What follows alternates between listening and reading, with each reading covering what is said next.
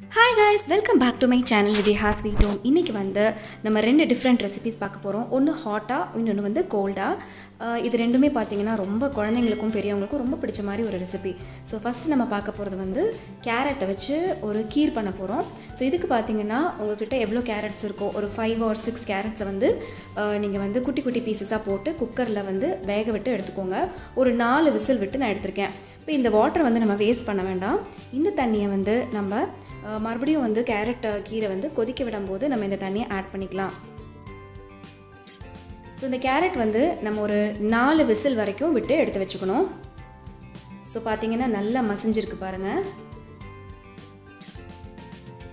இது ஒரு ப ஒரு ஆளுக்கு வந்து ஒரு கேரட் அப்படிங்கிற அளவு வந்து உங்களுக்கு கரெக்டாக இருக்கும். ஸோ உங்கள் வீட்டில் எத்தனை பேருக்கு வேணுமோ அவ்வளோ கேரட்ஸ் வந்து நீங்கள் யூஸ் பண்ணிக்கோங்க.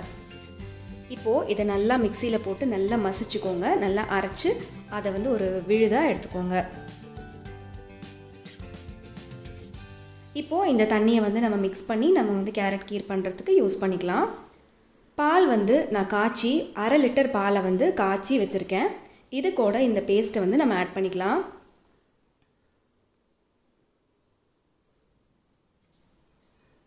ஸோ இதை கம்ப்ளீட்டாக இதை ஆட் பண்ணிவிட்டு அந்த நம்ம வந்து வச்சுருந்தோம்ல தண்ணி அந்த தண்ணியும் ஆட் பண்ணி நல்லா மிக்ஸ் பண்ணிக்கோங்க.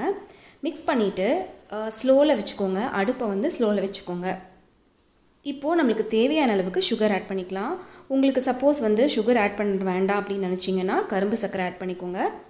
நான் வந்து இந்த கலர் அழகாக இருக்கட்டுமே அப்படிங்கிறதுனால வந்து சுகர் வந்து ஆட் பண்ணியிருக்கேன் நீங்கள் கரும்பு சர்க்கரை ஆட் பண்ணும்போது கொஞ்சம் ப்ரௌனிஷாக மாறும் பட் அது வந்து ரொம்பவே ஹெல்த்தி ஸோ என்னைக்காவது கெஸ்ட்டுக்கெலாம் ப்ரிப்பேர் பண்ணும்போது நீங்கள் இந்த மாதிரி சர்வ் பண்ணிங்கன்னா ரொம்பவே சூப்பராக இருக்கும். ஸோ இப்போ நல்லா வந்து கொதிக்கட்டும். இது கூட வந்து ஒரு ரெண்டு ஏலக்காய் வந்து ஆட் பண்ணிக்கோங்க. பொடி பண்ணி ஆட் பண்ணிக்கோங்க. ஸோ இப்போ கொதிக்க ஆரம்பிச்சிருச்சு. இது நல்லா கொதிக்கட்டும். அதுக்குள்ளே நம்ம இது வந்து நல்லா கொஞ்சம் பபிள்ஸ் கொதிக்க கொதிச்சா போதும். நம்ம ஆஃப் பண்ணிடலாம். இப்போது நான் இன்னொரு ஐட்டம் சொன்னேன்ல அது வந்து என்னன்னு பார்த்தீங்கன்னா ஃப்ரூட் கஸ்டர்ட் தான். ஸோ இதுக்கு வந்து நான் என்ன பண்ணியிருக்கேன் அப்படின்னு பார்த்தீங்கன்னா ஃப்ரூட்ஸ் எல்லாம் வந்து எடுத்து வச்சுருக்கேன். ஒரு மாதுளம்பழம் ஒரு ஆப்பிள் அப்புறம் ஒரு மாம்பழம். இதையும் எடுத்து வச்சுருக்கேன். அப்புறம் ஃப்ரூட் கஸ்டர்ட் பவுடர் வந்து எடுத்துக்கோங்க. இது வந்து ஒரு மூணு டீஸ்பூன் அளவுக்கு ஃப்ரூட் கஸ்டர்டை ஒரு கால் டம்ளர் பாலில் நல்லா மிக்ஸ் பண்ணி எடுத்துக்கோங்க. இது எதுக்குன்னு பார்த்தீங்கன்னா நீங்கள் வந்து பாலில் மிக்ஸ் பண்ணும்போது கட்டி தட்டாமல் இருக்கிறதுக்காக நீங்கள் வந்து கொஞ்சமாக மிக்ஸ் பண்ணி எடுத்து வச்சுக்கோங்க. இப்போ இந்த பால் வந்து பொங்கின உடனே இதை வந்து ஆட் பண்ணி நல்லா மிக்ஸ் பண்ணிக்கோங்க. நீங்கள் மிக்ஸ் பண்ணும்போது ஃபாஸ்ட்டாக மிக்ஸ் பண்ணிக்கோங்க. ஏன்னா ஸ்லோவில் வச்சுக்கோங்க அடுப்பை. இது வந்து ஃபாஸ்ட்டாக பார்த்தீங்கன்னா இப்படி கெட்டி ஆயிடுச்சு. ஸோ நீங்கள் வந்து அரை லிட்டர் பாலில் மூணு டீஸ்பூன் தான் கஸ்டர்ட் பவுடர் நம்ம ஆட் பண்ணியிருக்கோம் எவ்வளோ திக்காயிடுச்சு பாருங்கள் ஸோ ரொம்ப ஃபாஸ்ட்டாக இது வந்து திக்காயிரும் ஸோ அடி பிடிக்கிறதுக்கு சான்ஸ் இருக்குது அதனால் நீங்கள் ஃபாஸ்ட்டாகவும் பண்ணணும். ஸ்லோலையும் அடுப்பை வந்து ஸ்லிம்மில் வச்சுக்கோங்க. ஒரு நல்ல பதத்துக்கு வந்துருச்சு. இப்போ நீங்கள் வந்து சுகர் ஆட் பண்ணிக்கோங்க. சுகர் வந்து நான் வந்து ஒரு ஹாஃப் கப்புக்கு கொஞ்சம் குறைவாக எடுத்திருக்கேன்.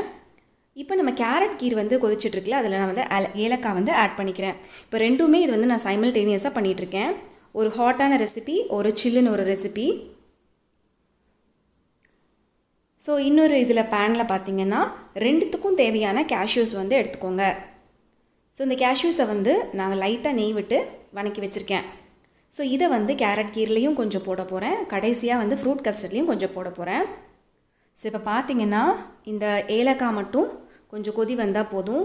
சூப்பரான கேரட் கீர் மணக்க மணக்க வந்து ஹாட்டான கேரட் கீர் வந்து ரெடி ஆகிடும் இப்போது இந்த ஃப்ரூட் கஸ்டர்ட் நம்ம ரெடி பண்ணி வச்சுருக்கோம்ல சுகர் எல்லாம் போட்டு மிக்ஸ் பண்ணி வச்சுருக்கோம். இப்போது இது வந்து ரூம் டெம்பரேச்சர் வர வரைக்கும் ஆற விட்டுறணும். வந்ததுக்கப்புறமா எல்லா ஃப்ரூட்ஸையும் நீங்கள் ஆட் பண்ணிக்கலாம். நான் வந்து இன்றைக்கி மாதுளம்பழம் ஒரு மாம்பழம் ஒரு ஆப்பிள் மட்டும் எடுத்திருக்கேன். உங்ககிட்ட என்ன ஃப்ரூட்ஸ் இருக்கோ வாழைப்பழம் இருந்தால் நீங்கள் அதை போட்டுக்கலாம். வெறும் வாழைப்பழம் வச்சு கூட நீங்கள் செய்யலாம். எந்த ஃப்ரூட்ஸ் அவைலபிளாக இருக்கோ அதை வச்சு நீங்கள் வந்து செய்யலாம். சீசனல் ஃப்ரூட்ஸ் கொய்யாப்பழம் இல்லை பப்பாளி இந்த மாதிரி சீசனலாக உங்களுக்கு என்ன ஃப்ரூட் வந்து கிடைக்குதோ ஃப்ரூட் சாப்பிடாத குழந்தைங்கள கூட வந்து நீங்கள் இந்த மாதிரி செஞ்சு கொடுத்தீங்கன்னா சாப்பிடுவாங்க. இப்போ மேலால் வந்து நம்ம வறுத்து வச்ச முந்திரியை ஆட் பண்ணி கார்னிஷ் பண்ணிக்கோங்க.